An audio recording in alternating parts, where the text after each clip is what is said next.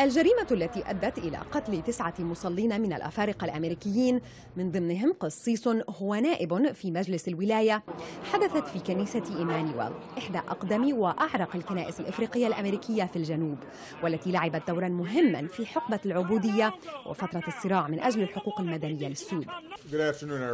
الحادثة أبرزت مرة أخرى قضية جرائم الكراهية الموجهة ضد السود ومسألة العنف المسلح في الولايات المتحدة.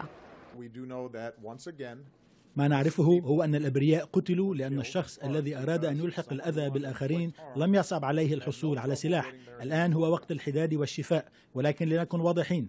يجب على البلاد أن تواجه حقيقة أن مثل هذه الجرائم الجماعية لا تحدث في دول متقدمة أخرى. أما المشتبه فيه ديلان ستورم الذي تم اعتقاله في ولاية نورث كارولاينا المتاخمة فيبلغ الواحدة والعشرين من العمر وكان قد حضر ساعة من الصلوات في الكنيسة قبل أن يعلن نيته قتل الحاضرين.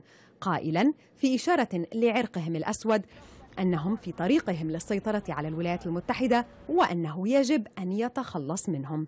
سلاحه كان هدية من والدته. أما صورته على فيسبوك فتظهره يرتدي علمين قديمين لدولتي روديجيا وأفريقيا الجنوبية أثناء حقبة التمييز العنصري.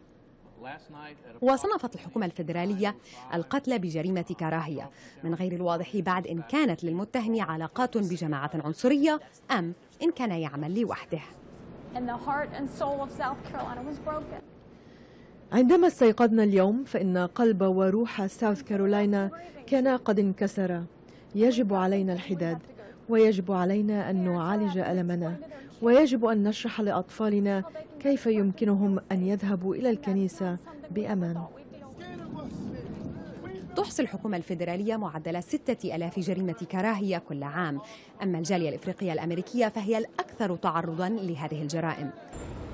وتأتي الحادثة في وقت تحتد فيها التوترات العرقية في الولايات المتحدة بعد تعرض مجموعة من الأفارقة الأمريكيين في ولايات عدة للعنف من قبل الشرطة. الأمر الذي أدى إلى قيام تظاهرات وأعمال شغب في بعض المدن. من الشقاق العربية واشنطن.